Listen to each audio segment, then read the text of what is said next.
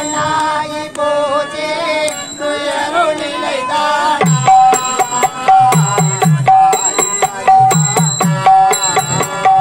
பொன்னான வாழ்வி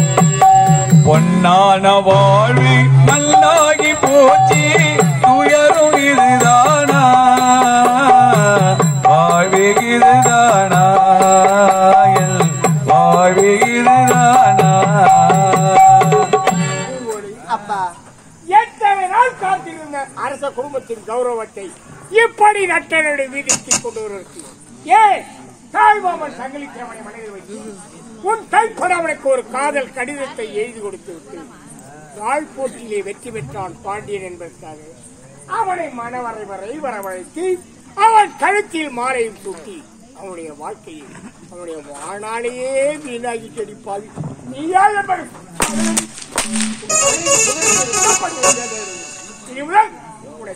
தந்தையாக அப்பா. எனக்கு மகள் அல்ல என் முகத்தில் இருக்க அப்பா. எங்கயா போற? எங்க போற? இவன் முகத்தில் விழிக்க கூடாது என்று மன வேதனையோடு போறண்டாடி எங்க?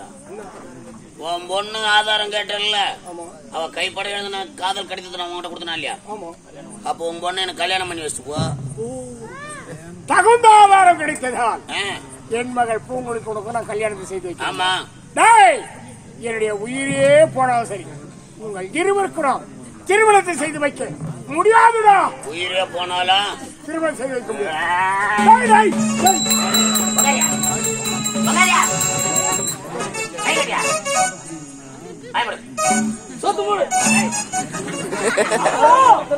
செய்த தவறு என் தங்கையை ஒப்புக்கொண்டார் அவர் யார்? என் தாயுடன் பிறந்தவர். என் தாய் மாமா அவருக்கே என் தங்கையை திருமணத்தை செய்து வச்சு விடுங்களப்பா. போயும் போயும் ஒரு கிளியை வளர்த்தி இந்த பூனைக்கு அப்புறம் இறை கொடுப்பது. ஓ மாமா. யாரும் போனான்றா? மாமா அவசரப்படாதீங்க மாமா. என் தங்கையை ஏற்றுக்கொள்ளுங்கள் மாமா. திரு, வெளிநாட்டுலாம் போய் படிச்சுட்டு வந்து எந்த தெய்வத்துக்குடா ஏறுவேன் என்ன மாமா?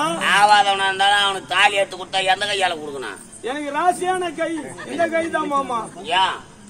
எனக்கு ராசாயனிக் எழுதிதானோ டிப்ளமோ எக்ஸாம் எழுதுனது இதுல தான் எழுதுனேன். அதனால தானே கம்யூனிட்டி அங்க வேலை செய்யறவங்க வந்து கூத்தாடிக்கிறேன் டிப்ளமா கப்ளிங்லாம் இதுல தான் எழுதுனேன். கப்ளிங் கிப்ளிங் நீங்க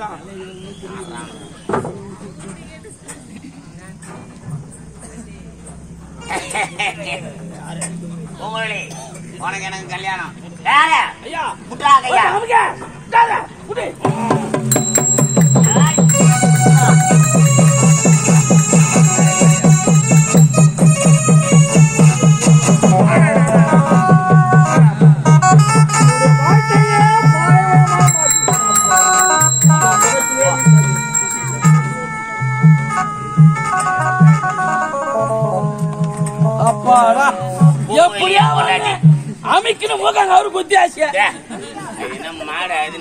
இருக்கு வேலை கட்டினாட்டா எங்கனா மேய்ச்சி நாட்டு மாமா என் தங்கையை கண் கலங்காமல் காப்பாற்றுங்கள் மாமா.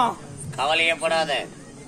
இனிமே உன் தங்கச்சி கண்ணுல இருந்து வெங்காயம் அறியும் போது கூட தண்ணி வராது. அப்படியா? நான் பாத்துக்கிறேன் ஆமா நன்றி மாமா. வரட்டுமா? உங்களே. குடும்பத்தை கெடுத்துட்டேன். இன்னும் எத்தனை கெடுக்க போறியோ எங்க சேர போறியோ? எவன் குடும்பம் எப்படி கேட்டா எனக்கு என்ன என் முண்டாட்டி கழுத்துல தாலி பத்திரமாக்குதா அது போதும் என் குடும்பம் நல்லா இருந்தா சேர்த்தான் அதுக்காக எவன் குடும்பத்தை நம்ம